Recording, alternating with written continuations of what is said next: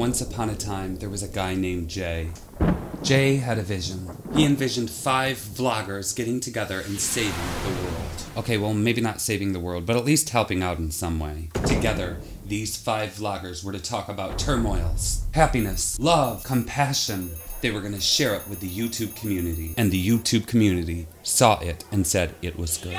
Then one day, some pissed off little boy, some former member loser guy, deleted the channel out from under them. Lost without their channel, what was Jay and his clan of five to do? New hire Bradley Voorhees came up with Five Can Make a Difference Part 2. Gordon Campbell came up with On a Mission. Together they would stand as ten sister channels. They would defeat all the hate in the world together. Okay, probably not all the hate, but still, you get my point. There were two channels. Five can make a difference. Five are on a mission. So I'm your new Saturday host. Five turned into seven can make a difference. Plus the other five.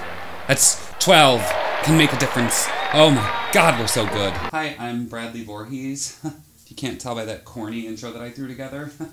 Uh, I'm going to be your new Saturday host here on Five Are on a Mission. So, yay, come Saturday, I'm going to be giving you guys bacon tips. Okay, so I will see you guys Saturday. Bye.